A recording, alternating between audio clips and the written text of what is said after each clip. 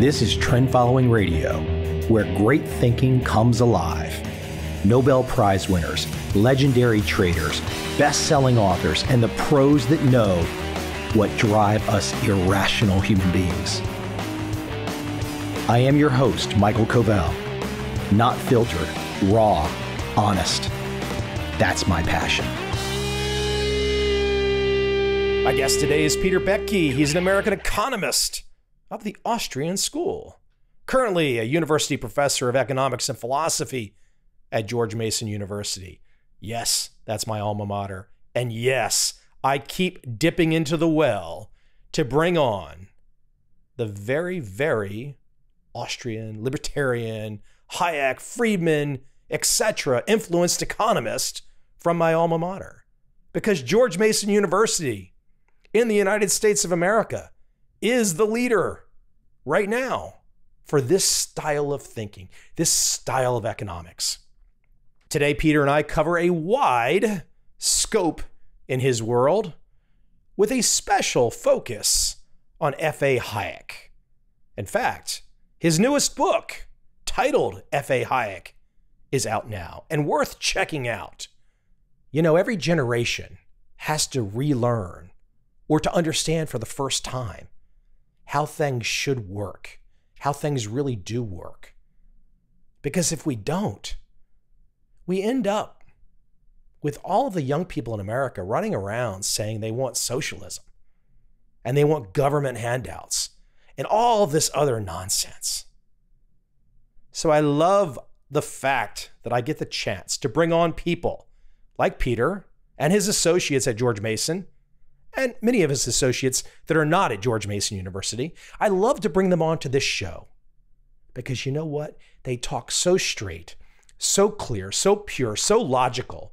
You just walk away and you say, my gosh, how can the world go any other direction? And any other direction just doesn't make sense because these guys, like Peter, they've done the homework, they've done the research, they've laid it all out, and it's up to us to jump back in and see what we can learn from them. Without further delay, let me jump into my guest today, Peter Boettke of George Mason University.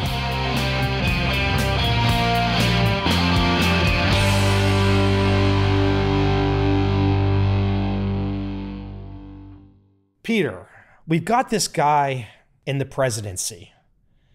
And you know, I'm calling you from Asia today, and there's a lot of news conversations. And I look, you've got a really wide perspective. So I want you to put your best professorial hat on as you give your explanations, because a lot of people don't really pay attention or they don't really know what's going on.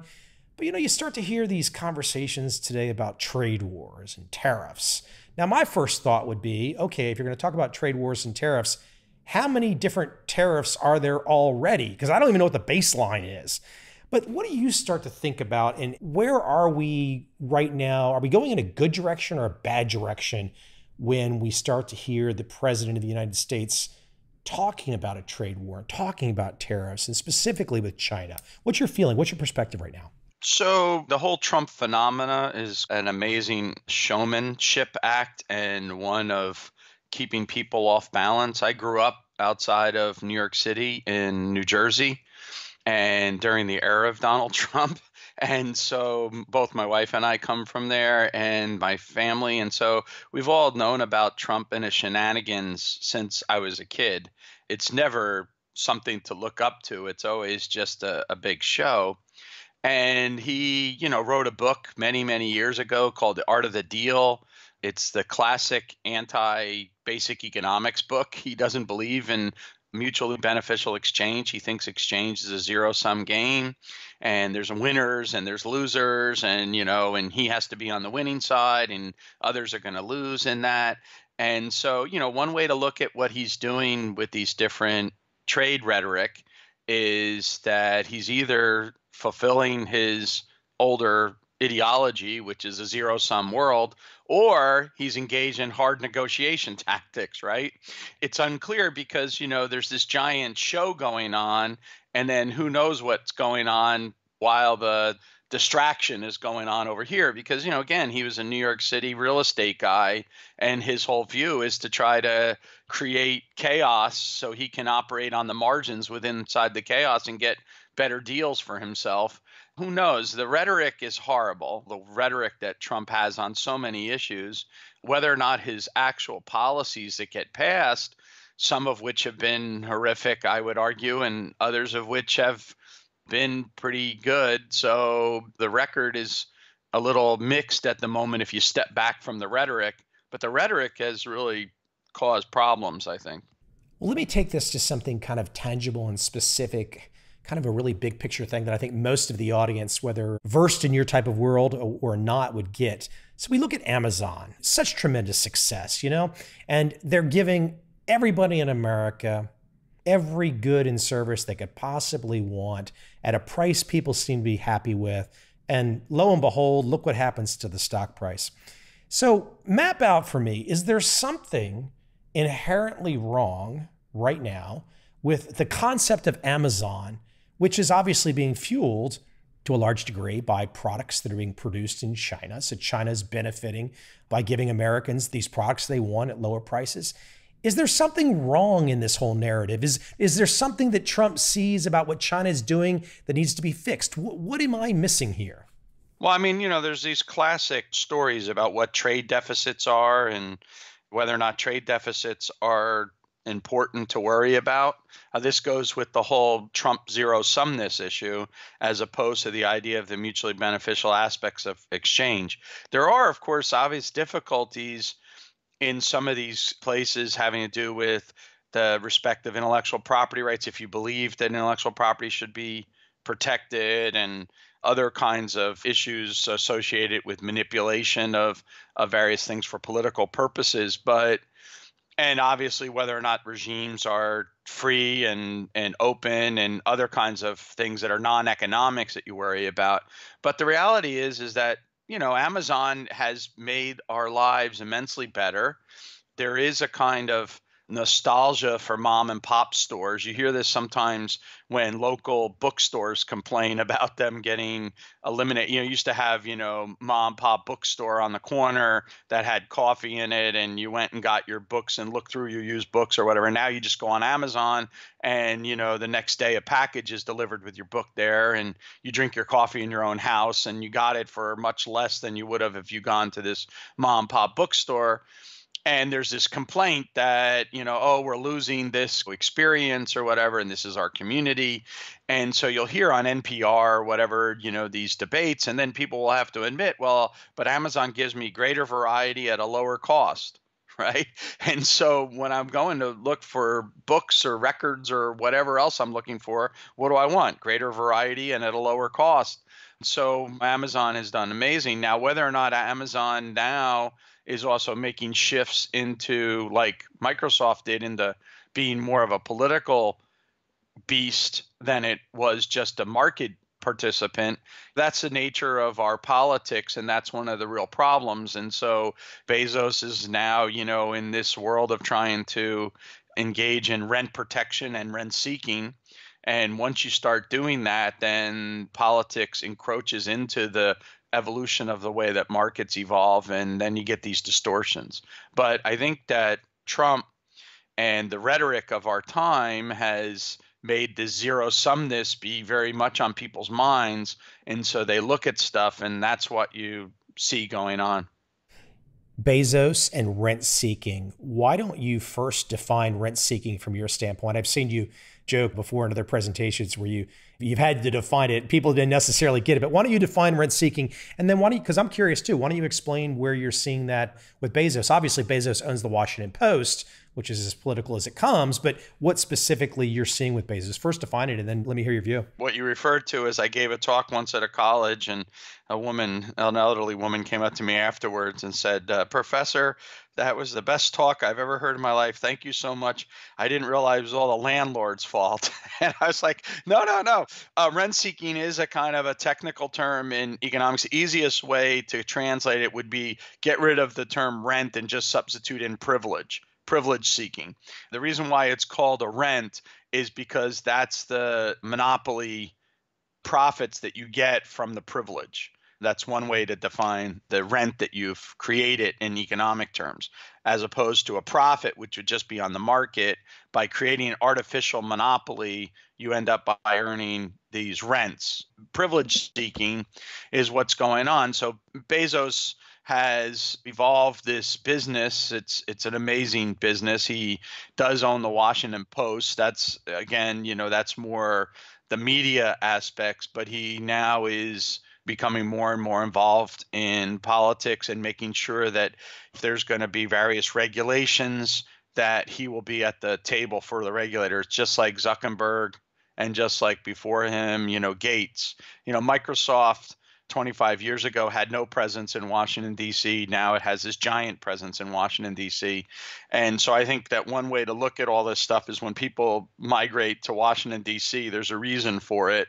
And it's not because of the inherently good cuisine or the nice weather or anything like else. It's just the fact that this is the place where you go and get privileges.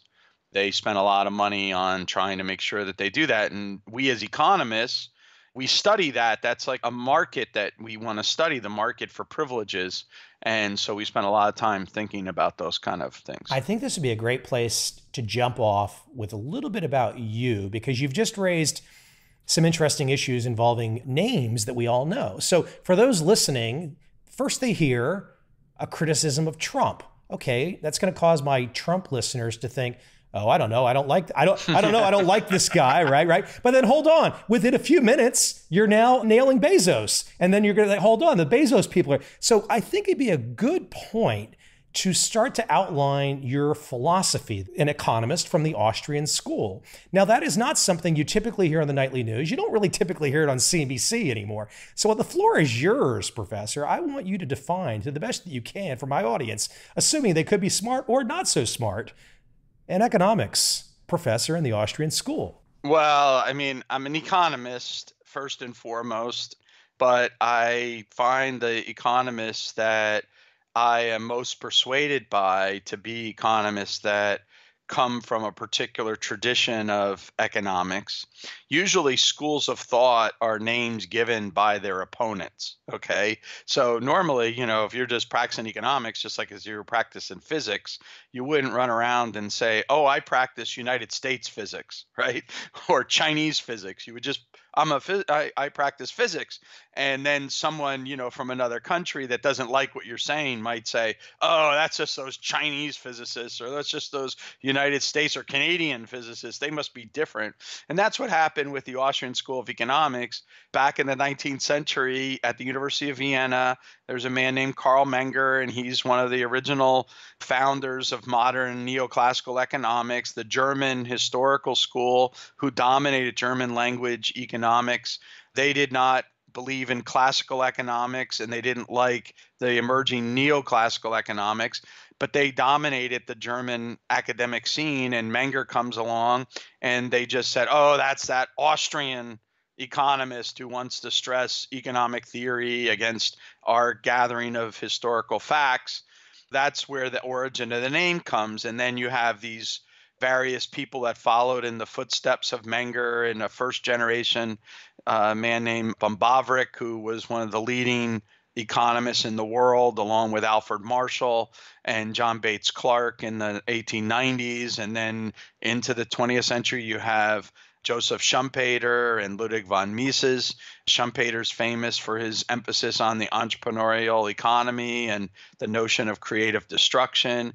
Uh, Mises is famous for his critique of socialism and that socialism could not engage in economic, rational economic calculation because the absence of private property would eliminate the prices and profit and loss signals that are necessary for economic coordination and development. And then out of Schumpeter and, and Mises, the next generation, you get Hayek, Friedrich Hayek, who's a Nobel Prize winner in economics, and he emphasized a lot of the same things I've been talking about from Mises and Schumpeter, but also the importance of the institutional infrastructure within which economic activity develops and, and is played out. And that's what led to books of his like the Constitution of Liberty, which is really about the rule of law and how you need to have a rule of law and the evolution of these institutions to be able to have a vibrant economy. And Hayek then influenced American thinkers such as James Buchanan, who was at George Mason and was one of my teachers. And then I was gone for 10 years. And then I came back to George Mason. And James Buchanan won the Nobel Prize in 1986. And he's famous for what's called constitutional economics. And Buchanan's most important contributions related to what we were touching on before a little bit is actually related to the real problem of debts and deficits, which is the public deficit and the accumulation of public debt. And Buchanan's basic insight there was that politicians have a very, very strong incentive to run deficits because they're going to concentrate benefits on the well organized and well informed interest groups in the current period and disperse the costs on the unorganized and ill-informed mass of voters in the future periods. This is leads to this bias towards deficit financing, and that's what we've seen played out in say the last 6 decades in the United States, but pretty much across all the social democratic states since World War II. The only way that you can constrain that is, is as Buchanan argues, is if you have constitutional restrictions on these. So I hope that that is a somewhat of intelligible presentation. No, you've just given people a ton of books they have to go buy. That's for sure. Oh. um, hey, so let's let me take it back a little bit further, though. What I would love from you, and you've got so many great presentations on YouTube, but I would love for you to kind of, what's the trigger point? Give me the age as a young man. What was the point, the moment, even if you weren't necessarily knowledgeable of all the names and insights that you just mentioned. What's that point that triggered you and you said, I'm going this direction for the rest of my life? What was it? Well, it's a little bit of a complicated story. I did not go to college with any expectations of being an academic or even a student of any seriousness. I went to college because I wanted to play basketball. I grew up in New Jersey and I spent a lot of my time in the playgrounds playing basketball as what you did back then to try to get better to play in college. I mm-hmm. went off to a college to play and I got hurt and whatnot. And so I was going to transfer to another college to play. And I got a job that summer because I had a deal with my dad that as long as I was continuing to work on my sports, I didn't have to have summer jobs because I spent all my time, you know, training and everything. But because I, I gave up a partial scholarship at the one school to transfer to another school, my dad said that I had to like get the money to be able to pay for, you know, my spending money and everything like that. And so I got a job, but where was I going to get a job? So I got a job from guys at the playground who told me about this job digging pools. I joined this staff to dig pools, and it was the late 1970s. Now, why is that important? Is because that was a period of high inflation, very hard to get jobs, high unemployment, but also gas lines. It's hard for young people to remember this, but what we had at the time was a gas shortage in the United States, and they put a cap on how much you could put in your tank. And this is important because for the digging the pools, one of the things that they wanted to do was they had two trucks and they didn't want to waste all the time waiting on the gas lines. So they would fill the trucks up in the beginning of the week, and then you would siphon the gasoline from the one truck to the other truck, and then they'd leave the truck behind that you used to get the gas, so that they so people that were not digging the pools could go in and fill the the truck up and wait online. Well, I was the youngest person at the crew, so I was in charge of starting the siphoning of the gasoline.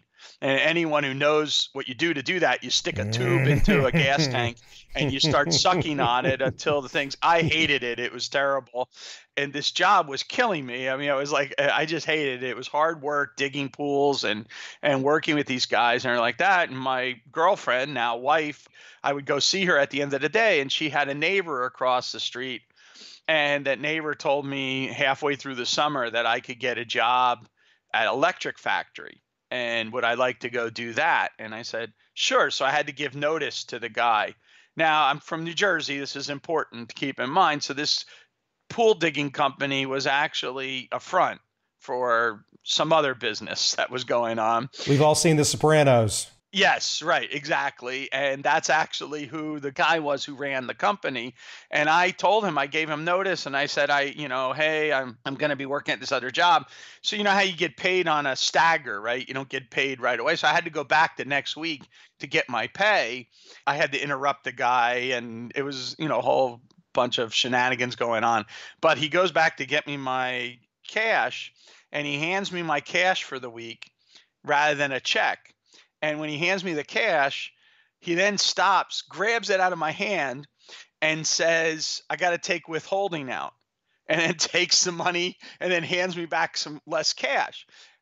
You know, I was a stupid kid. So when I got my check every week, I never even realized I was getting withholding out. But now all of a sudden, I got this direct withholding that he said he had to take because it was, you know, that was the government was making him do that. All right. So as that as background, I go off to Grove City College and I'm sitting in a class and you know, Sennholz, my professor Hans Sennholz is up there and he starts talking about the gas lines. And the first thing he explains is why is it we have these gas lines that characterize the United States at the moment.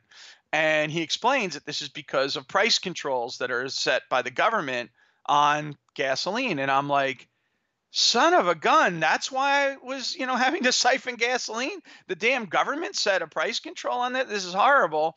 And then he starts talking about you know taxation and and and taxation as taking of resources from individuals. And i'm like no crap. That's exactly what that guy did to me in that office. He took that money from me.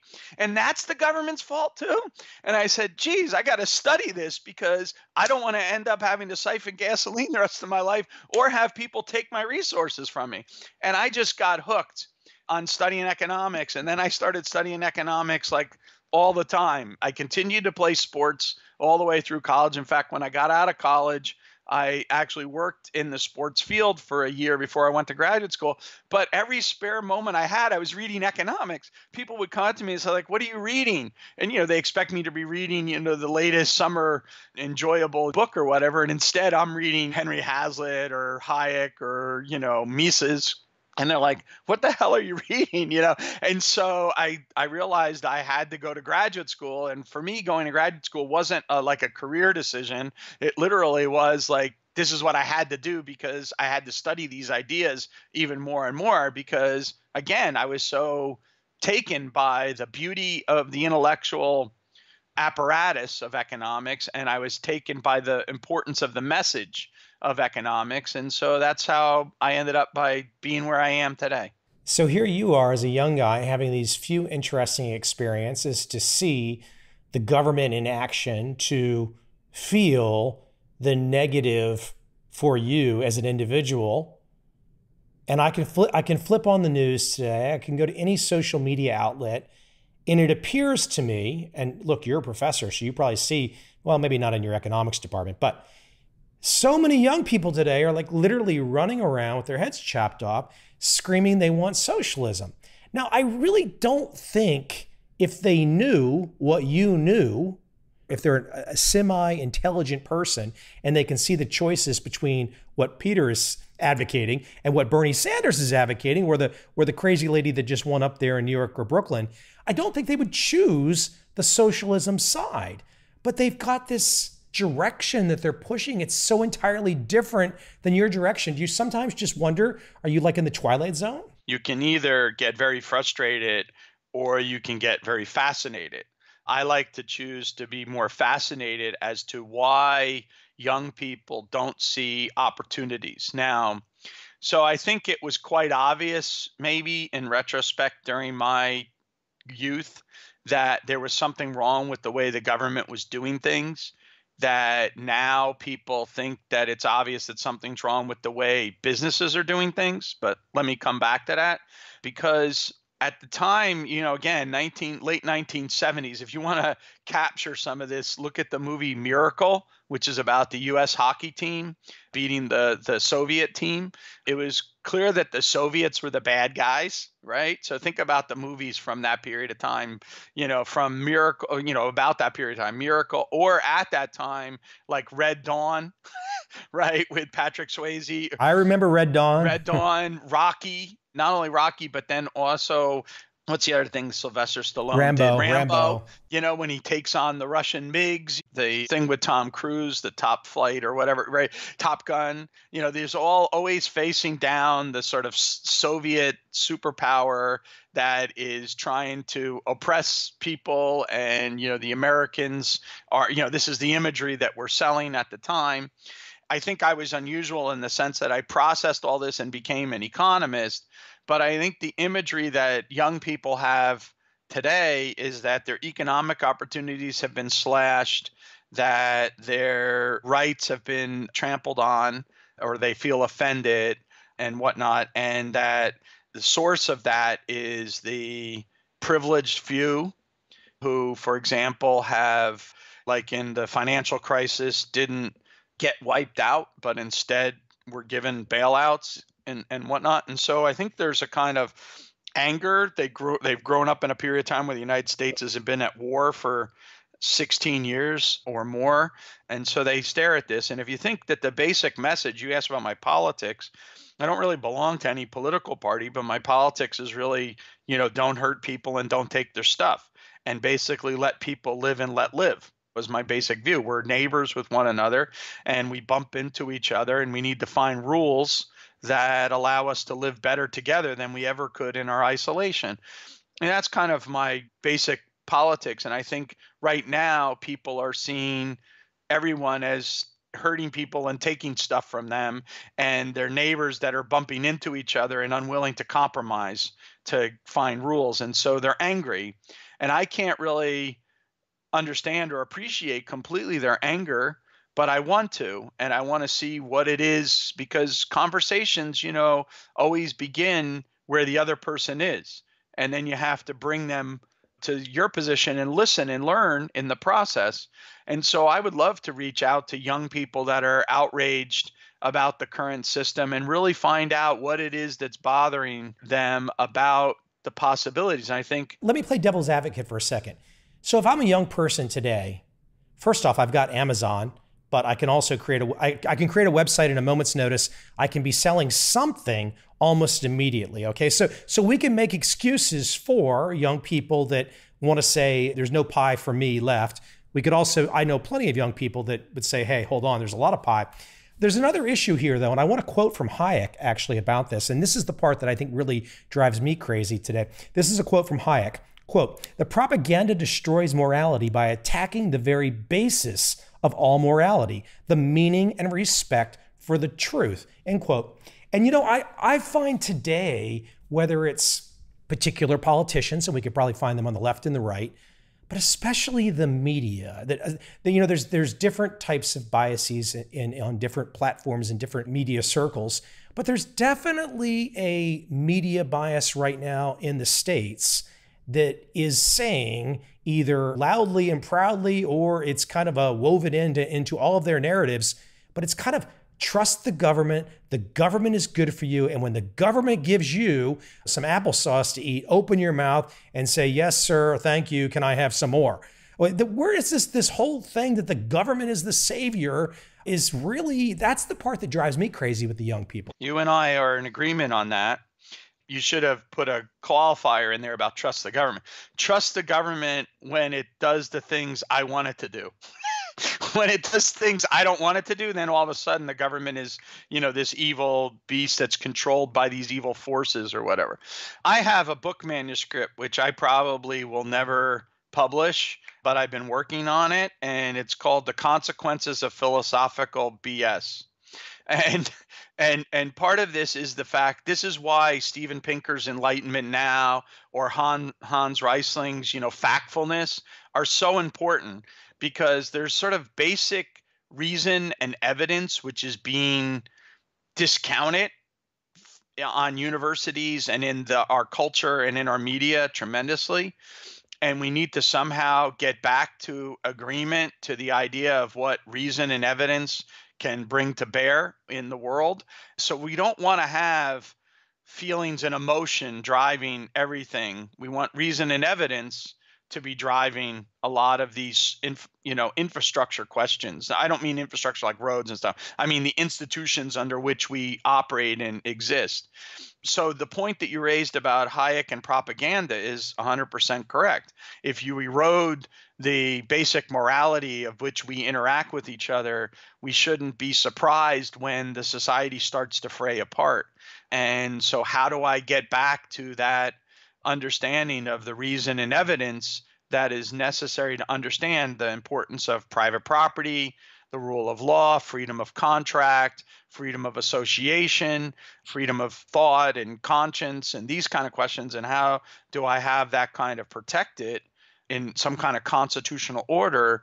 These questions are, of course, but they're all frayed at the moment. And so my point earlier was I'm trying to figure out, like, what is it that has happened? Because one of the things that's really important in the United States to keep in mind, and maybe one of the reasons why you relocated, was precisely because the United States used to promise its young people that we were a society of meritocracy. What mattered is what you did, not who you knew. It always was the case, by the way, that you know knowing people mattered, but it wasn't the the the main governing idea. And there is a sense in which we have become more of a connection based economy because of the massive involvement of the government in our economic lives, the ability to get privileges and protection of existing privileges, that becomes more that we're sort of seeing people rather than going making a go of things, we're seeing more and more people sort of mix their economic lives with their political lives. And that creates barriers and so one of the things we've seen is a decline in the mobility between income quintiles. We still are very mobile society, but we have seen a slowing of that ability to move between the quintiles. And these are kind of questions that we have to ask ourselves like what are the structural difficulties that people are facing in moving between that as opposed to what you mentioned before we should actually see because of technology a speeding up of those movement between the quintiles because my god now with a ipad and, a, and an app i can start a business. I can you know give a go. What am i going here? But if the rise of regulation has caused problems if various other government distortions have caused problems then maybe my $2 app doesn't allow me to enter in as much as I once did, and my vision becomes restricted. And it's when that entrepreneurial vision becomes restricted that your society becomes just slightly less vibrant. And when societies become less vibrant, then the pinch of government stupidity gets even stronger on them. For those that don't know, I think it's six, six of the top 10 wealthiest counties in the United States of America surround Washington, D.C. There's there's nothing that you and I can say about that except to say that that is a very sad statement. At one point, it was eight. After the financial crisis, it risen to eight. So, you know, and again, you grew up in this area. You're old enough to to be pre 9/11. When I lived here in the 1980s, Washington D.C. was a very sleepy place compared to New York City, where I grew up outside of or compared to Boston or San Francisco. And so I lived in San Francisco area for a year as well in the early 90s when I was at Stanford. Washington D.C. was nothing like that. I come back in the in 1998 and Washington D.C. is is you know it's improved a lot, but after September 11th, everyone moved to Washington to fix the world's problems, right? And then after the financial crisis, everyone moves to Washington, D.C. to fix the world's problems again. And what you see is Loudoun County and Fairfax and all these places just explode in wealth. And as someone who lived here, by the way, and I lived right outside the Beltway, I now live a little further out. My house never suffered a housing crisis. Northern Virginia was protected. I mean, you know, it was yeah, uh... my family out in New Jersey. Their housing values fell tremendously, or whatever. I never experienced that because the house that I had in Fairfax actually kept on going up in price. And and you know, so you're trying to process as an economist, you know, you think about these things, you're trying to process, okay, so you know, what's going on with the supply and demand dynamics here, you know? It's just an amazing thing. So Washington DC has become a very interesting place to live in in terms of just your everyday social life and you know better restaurants better range of opportunities and and things like that. But the rest of the country you know that has had some real problems and we should be thinking about that just like what you said. It's kind of when Washington DC or the area around the seat of government becomes your main wealth displayer you should actually scratch your head a little bit and say like what the hell's going on? You know you brought up prices indirectly. Let's talk about hayek and prices. I in prepping to chat with you i went down a, the rabbit hole of some friedman interview and he got to talking about hayek and prices.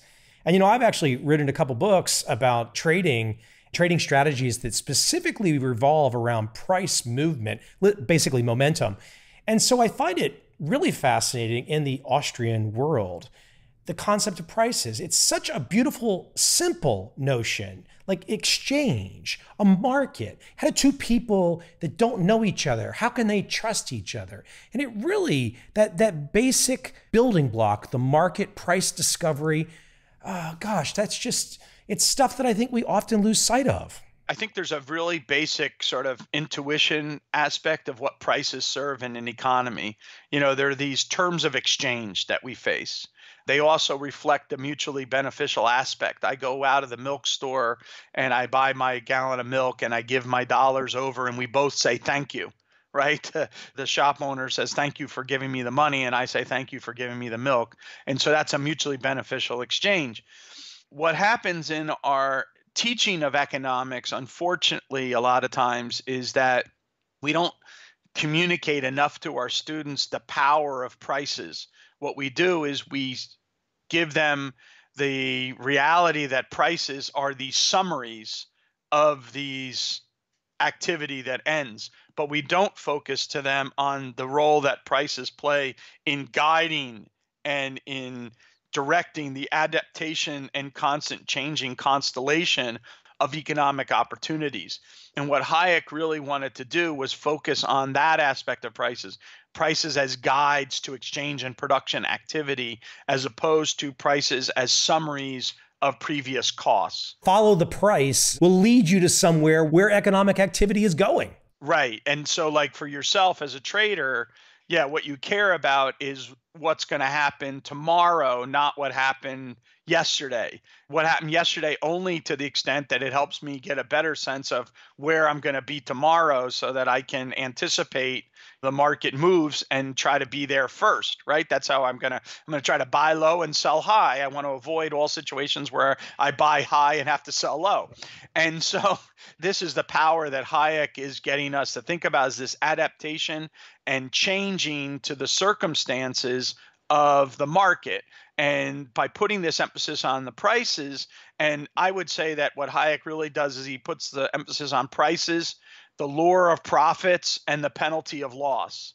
So, you know, what we do is we we have a guide that help us steer our ship and then we get signals that are sent back by either we, we're getting profits which means that you know we did the right thing or we end up by getting the penalty of losses, which means, oh man, I got to rethink about how it is that I judged what those prices were moving as, and I rearranged my behavior. And so the market is this constant entrepreneurial recognition of the opportunities that need to be pursued. And that's the beauty of the market is not that it's just so efficient it is that the market competition is this efficiency generating machine. It it makes us want to produce things like I said earlier about Amazon at a lower cost and a better quality. And that's because if we don't do it, someone else is going to and beat us to the punch, right? So they are these efficiency generating machines. But what's fascinating to me intellectually and also personally as a benefactor of participating in the market economy is the constant adaptation and change to consumer tastes and technological innovations. That just think about the evolution of cell phones. and what has happened. I carry around a cell phone with me right now that has more computing power on it than what the computer on the Apollo missions had, right? And I carry it around for $200. How amazing is that? It's got more than what you had in the early 2000s. Yes, it's just amazing, right? That adaptation and constant change and adjustments that are guided by the price system. This is the beauty of the price system. This is what we have to get our students to understand about economics, not necessarily the optimality conditions of when economic forces have done all their work. Those are important intellectually to understand, but what really happens is all the dynamics leading up to that conclusion. And I think once we recognize that, we would then start to see, oh, look at all these things that we benefit from. Well, maybe what we need to do is also start thinking about what are the institutions and policies that perpetuate this dynamic entrepreneurial economy that we rely on so much for our wealth creation. You know, we were talking a little bit about socialism before I had brought up Bernie. I would like for you to paint a picture. We've got these conversations in the States, for example, and there's probably plenty of Americans that truly cannot grasp the scope of economic development in China because they've never set foot there. And, and I don't know if I could unless I had set foot there. But when you set foot in China, you see something that's just titanic. I mean, it's just, it's an explosion of what we would otherwise call in America capitalism. But, but the government, the structure of the government there, a lot of the legal framework would not otherwise be something that we in America would be like, well, we don't really like that. But so almost in spite of themselves, or you know, we probably we probably take it back to the kind of the baseline cultural ethic of many groups in Asia where they just have this merchant class mentality. But why don't you kind of contrast those two things for us? Because I mean, I could make the argument that, you know, you probably might kill me on this, but China, called a, a socialist uh, country, might be undertaking more capitalism than the country that I'm from that's called the capitalist country. What is what is going on with all these labels? Well, it's one of the reasons why before I wasn't very articulate, but why I was talking about with the kids, like, and what's their frustration is actually I want to listen to them because I want to identify the factors in the US economy that are preventing for them to be able to pursue this kind of entrepreneurial vision as opposed to where you see it in other places. So I have two quick things to say. One of them is that when the campaign was going on, I was still giving a lot of college talks. And at one of my talks, there was a group of kids in the front row and they they came there and I'm sure they came there for a reason, looked me up and then decided they were going to do this. They wore their Bernie shirts that said feel the burn right and they sat in the in the front row and before i as soon as i got done they their first question a kid stood up and he said i want to know do you feel the burn? That's what the kid said to me about Bernie Sanders. And I said, and I stopped and I laughed for a second. I said, Do you ever notice how in all other things in life, if I said to you, Do you feel the burn? that you would actually view that as a negative? like if you fell and scraped your knee, that would be a burn. If you got heartburn, you know, after you ate like a spicy meal, like you would say, Oh my God, I have the burn. I said, That's kind of how I feel about Bernie Sanders.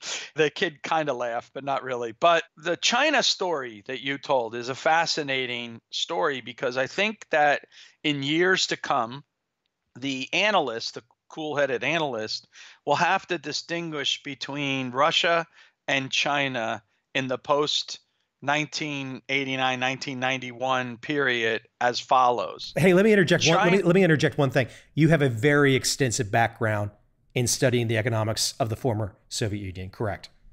Right. As you as you as you outline this story. yeah. And and so I think that what the deal is is that China has had since Tiananmen Square has had very little de jure change with respect to the party and all these stuff like that. But they've had an immense amount of de facto change. That is that China has experienced a tremendous amount of decentralization. And a large part of that is if you study the history of the reforms from Deng Xiaoping all the way up to the present, You have the earlier period, which is 78 to 85, which in fact was a continued consolidation of the economic power. That didn't fix their problem. So then, post 1985, what's happened is they gave a tremendous amount of power to these special economic zones, these regions, and whatnot. And you've just seen tremendous flourishing in places like Shanghai, but also Guangdong and these other places, right? Whereas in Russia, you've had all of this de jure, that means official. De jure means official, de facto means unofficial. In in Russia, you've had this tremendous amount of de jure changes but no real de facto changes. So the more things change, the more they stay the same. And as a result, you don't see the same kind of large contrast. We don't show pictures of Shanghai. You know, we do show pictures of Shanghai 25 years ago, 15 years ago, today and you see it and you're like, oh my God, can you believe that development? We don't show that same picture for uh, Novosibirsk or something like that in Russia, right? Because if I showed a picture 25 years ago and I show it today, it looks the same. And so what's going on? So Russia claims that it has all these changes, but really they haven't. China claims they have no changes, but they really have. And so the analyst has to going to sort that out and be able to explain all of this in the future. But right now, in real time, it's hard for people to do that because everything is all caught up in like the, the day news cycle.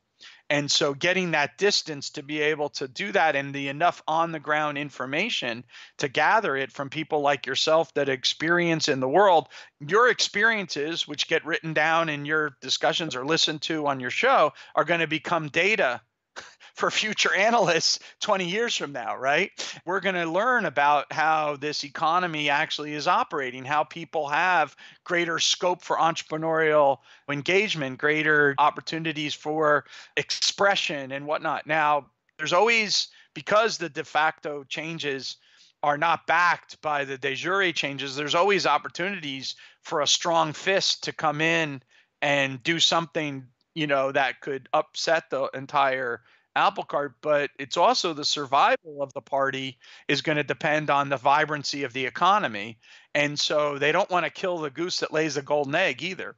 And so this is this is one of the things that I think we really have to pay attention to. And so I hope that that this difference between the actual changes on the ground and the policy announcements and official statements that disjoint is so important to study and understand. And I think we miss it all the time because we just focus on the official statements. Just to add an additional thought is that one thing that us as Americans, if we've not traveled to places like uh, China, Vietnam, even uh, you know Singapore, etc., but some of the countries that have adopted the socialist mentalities in Asia, we need to kind of keep in mind that they kind of, and I'm kind of generalizing a little here, but there's a little a lot of truth to this. They kind of became socialists because they needed a way to fend off colonial powers. So when you have these massive populations, they kind of figured out if they organized, they could fend off all of the colonial powers that were causing all kinds of problems across Asia. So I think that in many ways is how you get the structure of some of these governments. But to me, the most interesting thing about Asia is just the merchant mentality of people.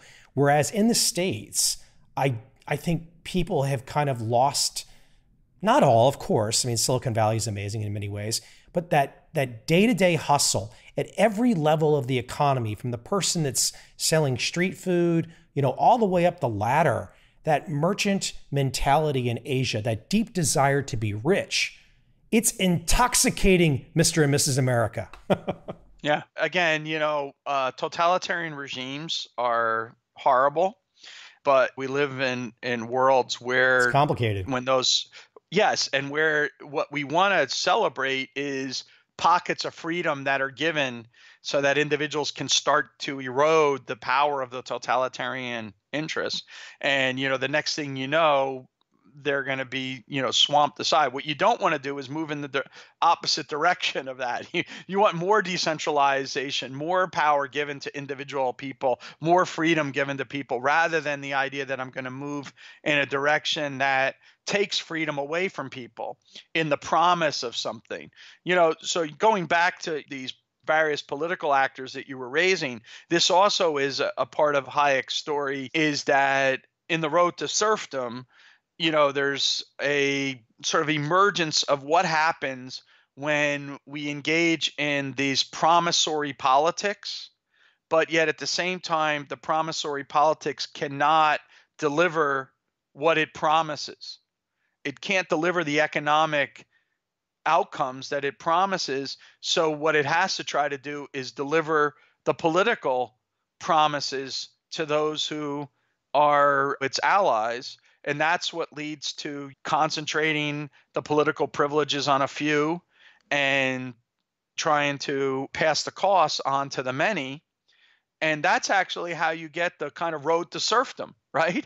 Is that this economics can't be solved by the socialist problem, you know, because socialism faces these various incentive problems and information problems. So socialist promises can't be realized but socialists in power are still going to be in power.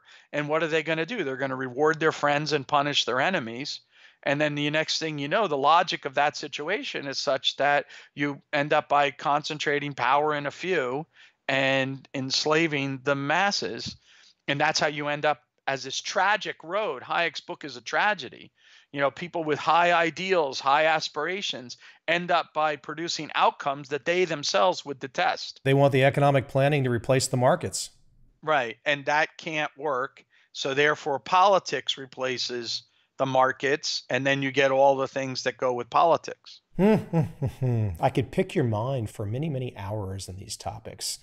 So you're still at Mason though right now yeah yeah i've been here since 1998 it's amazing. Every time I see pictures of the campus, I'm just like, well, actually, I drove around. Maybe was it this summer? But I literally got lost. It used to be easy. You could just go in a circle around it, and then I'm like, I'm on some highway somewhere. I don't know where I am. My wife and I, when we came to George Mason, I had a variety of choices when I was thinking about going to graduate school. My wife Rosemary and I, we went to the different options and thought about them. When we came to Mason, I remember, you know, our comment was that this is probably the ugliest campus we've ever seen because it was just the first the end of the campus was Fenwick Library, if if you can remember that. And so it was all those old buildings in the front, East building, the you know, West, these kind of things. And since I left in 1988, I left between 1988 and 1998, they built the Johnson Center, they built up the other half of the campus and everything like that. And when I came back here in 1998, since that time, the amount of building and development and growth of this campus is just mind boggling. I mean, it's amazing. And I'm like you, I go away in the summer. I used to go and teach in Europe in the summer, and I'd come back and I'd be like, how do I get to my office? you know, where are the roads? And it's still like this. We just built this beautiful medical center, the Peterson Medical Center.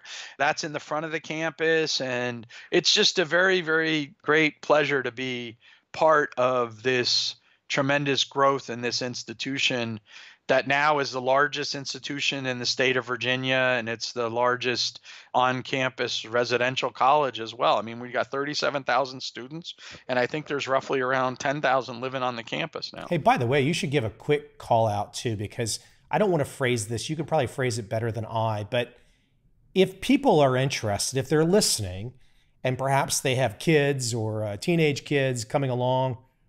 If those kids, perhaps in the future, want to go to a university in the States where the topics that you and I are discussing today, the Austrian school, Hayek, Mises, there is no economics department in the States where they can go where they're going to get a, a bigger fire hose of this information than George Mason University, is there? No, I mean, there's some small colleges. Let me uh, just say that, you know, Grove City College, where I went to school, is still very, and it's a small school, 2,200 or 3,000 students. Hillsdale College, also a small college, has a very strong economics department. And Hampden-Sydney College in Virginia has a, is an all-male school, small college, but has very strong department.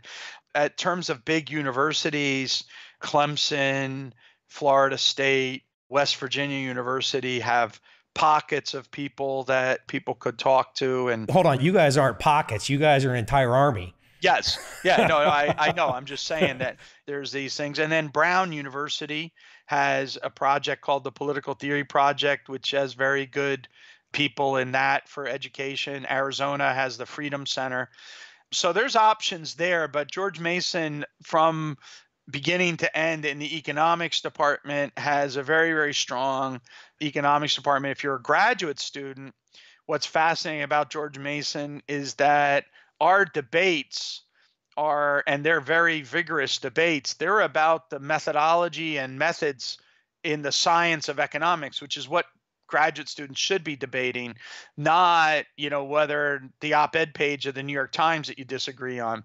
So most of us in the econ department would agree that the Wall Street Journal op-ed page is better than the New York Times or the Washington Post page, but where we disagree vehemently is on how you should approach economics, how do you study it. So it makes it extremely vibrant environment intellectually for people that are advanced students in economics and for the undergraduate students we start with one of the best communicators of economics one can find, Don Boudreaux, my colleague Don Boudreaux. And then you get an opportunity to take classes with Bryan Caplan and Robin Hanson, who you mentioned earlier, is you know these people are just so intellectually interesting. It's an amazing opportunity for a student. So I I think as an undergraduate or a graduate student, George Mason should be at the top of your list to study economics. And the Shanghai rankings were one of the top departments in the world.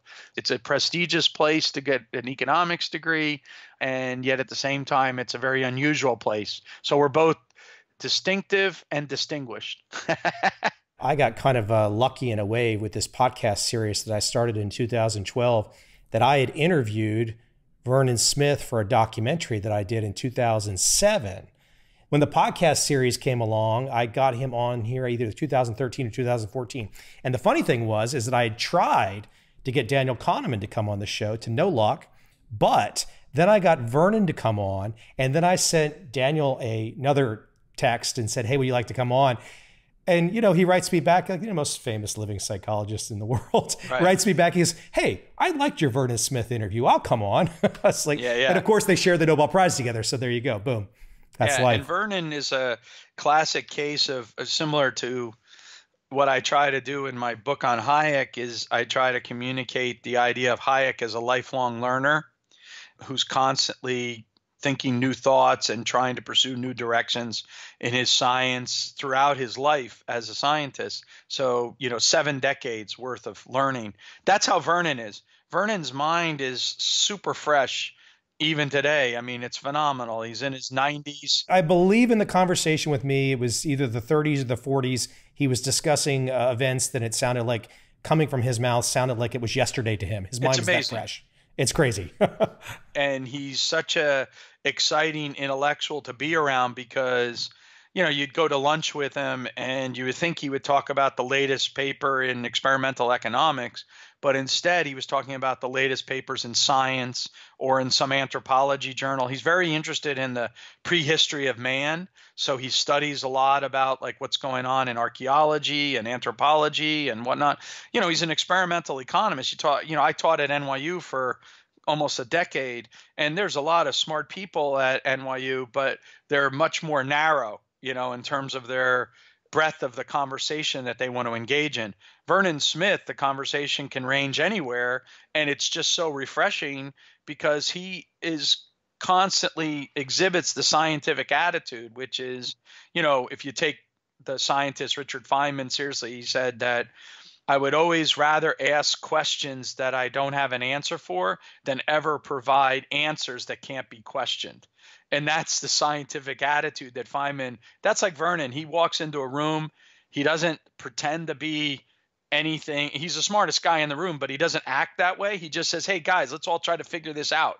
And it's like this mutual learning process, and that's in some sense, I, I, you know, he's he's more egalitarian in his attitude than I, I, don't mean that in the political sense, but in the knowledge sense, you know, than Hayek was. Hayek was more of a lone wolf. He didn't do team research. I don't think he ever co-authored a paper or anything like that. Vernon's part of that more modern age where we have co-authors and partners on our projects and everything but they're both exhibit this amazing mind of constant learning constant adaptation constant absorbing of how the world is changing around them and how to make sense of it. And i think that's intellectually infectious. I don't know if the science is there yet but I have a sneaky suspicion, at least my gut says this, is that at some stage of the game, we're going to figure out our best chance, no guarantee, and uh, obviously it's a bell curve, but our best chance for longevity is going to be using that mind as a muscle.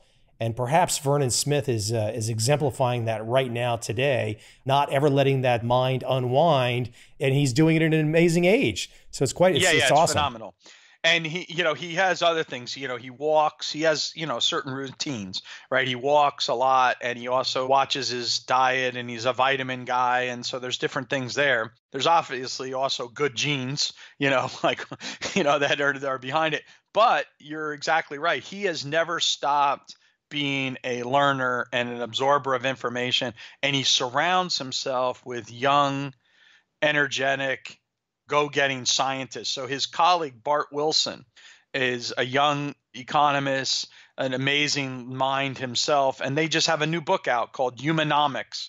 You know, I mean, think about it. Vernon in his 90s is now starting a new way to think about economics, which is puts the interface between economics and literature. So, you know, a lot of times people have thought about economics and psychology, economics and philosophy, economics and politics right? What Vernon's doing now is the connection between economics and literature, and they call it humanomics. And he's doing that. It's amazing. Anyway, he's just a phenomenal mind, and he's something that we should learn from and try to emulate. And what I tried to do in my Hayek book is to pick on those aspects of Hayek which reflect a similar kind of mind to Vernon Smith's. But I think Vernon Smith actually might be the exemplar of that in my lifetime personally he's an exemplar of that kind of approach to academics and science. The book you mentioned f.a hayek economics political economy and social philosophy. Available everywhere i assume yes? Yeah yeah. Except that i should mention that if you belong to a university library you're able to get the book at an extremely discounted rate. The publisher macmillan is in league with Palgrave and Springer. You know, that now the publishers are consolidating. And they, if you are a university student or university faculty, or you have an access to a university account at a thing, you can go through Springer Link and you can either download a ebook for free through various steps that you have to go through. You got to go through the Springer link, and you can also get a paperback for $25. But if you don't have that, then the book is in cloth and it's library bound and it's very it's expensive. It's it's a hundred dollars. This is the way that they're doing price discrimination today. Actually, I think a, a, very good study should be done on publishers and their pricing policy and what they're trying to do to go down that demand curve to extract all the surpluses. Oh, this uh, that would be the be Plan B conversation for us would be to talk about uh, my experience in authoring books since 2004. I can get a headache immediately if I think about the process. So yeah, it's it's a funny thing with that. My colleague Tyler Cowen, he has very interesting things to say about the modern publishing process and everything. So it's all changing, and at some level, again, you step back from it it's amazing to see the changes. I mean, I, I have a line in my book where I say that Friedrich Hayek could never have imagined that I could have his collected works on my cell phone, right, to call up. He could never have imagined that that would be possible. And so, how is it that all this world is changing of information transit transmission? You know, you're interviewing me from Vietnam, right? How amazing is that? That this is the way we communicate information today. Crystal clear over Skype, not a penny spent yeah. by either of us. yeah. Crazy. Yeah, could right? you imagine if we had Adam, like, you know, if, if if we would have podcasts of Adam Smith or of, you know, Ludwig von Mises or of any of the other great thinkers, I mean Einstein, if we could have access to that today, it's just amazing what all of this is going to do in terms of repository of knowledge for future generations. Not not our interview. I'm well, you know, there's nuggets in every interview though that I think are prescient for me, and I, I feel very fortunate because look, I'm just. Uh, an, an, average guy. You kind of sound like an average guy too, but you know, if you you push and push and you push, and all of a sudden you end up with a little bit of material that you've created. And I don't necessarily know that my podcast, which was started as a trading podcast, clearly is not now. I didn't know how it's going to unfold or anything like of the sort, but my gosh, I, I can't stop now because if I get a chance to talk to bright people and they can kind of educate me and make me see something that I didn't know and my gosh, this is what we all want, even if we don't want to admit it. This is what we want. We want to learn from smart people. It's like the, you know, we all kind of want to sit down with a crazy, brilliant uncle that tells us something we didn't know, right? Yeah. Yeah. Yeah. I mean, look, I think that the reality is, is that what modern technology has allowed us to do is expand our ability for learning and the speed at which we can learn. So I'm not saying that we should always substitute those things. I remember, you know, going back to your first question about where I came from and how I got interested in this stuff. You know, when I got interested in these ideas, what happened was I went to the library and I started reading. And I spent a lot of time reading, which I didn't do before that because, again, I, my interests weren't academic oriented and I can remember the joy of sitting in the library and reading books and then having these like epiphany moments of like, oh my God, like can you believe that? That's how wonderful this is. And I still hope students still find that. But I think there's so many ways now for people to learn. They might find that in terms of listening to a great lecture or listening to an interview or watching, you know, some other way. And so we're learning at such a rapid and our expanse of what we can learn is so phenomenal today that the notion of what education is is in the process of changing. And i think that's just so fascinating for us to see. Peter i've kept you over time today. I appreciate you i appreciate you coming on and uh, and giving my audience a healthy dose of your world and uh, your background. Cool stuff. And hopefully uh, one day i can make it back to northern virginia soon enough and maybe grab a coffee or a lunch over there at the campus would love to host you and show you around. And thank you very much for having me here and also for uh, doing this podcast and showing that your own lifelong learning path and that we're very proud that it starts at George Mason University. Thanks, Peter. I appreciate it. Thank you. I see a time when those awake will understand how to make money in up, down, and surprise markets. Whether new trader or experienced, college student or financial advisor, protecting against a crash or just trying to make a lot of money, trend following offers everyone an answer in uncertain times. To get started immediately, send me an email, michael at covel.com. I will send you the right trend following steps to take along with my free video. But if you want to buy and hold, trust the government and trust Wall Street. This is absolutely not for you.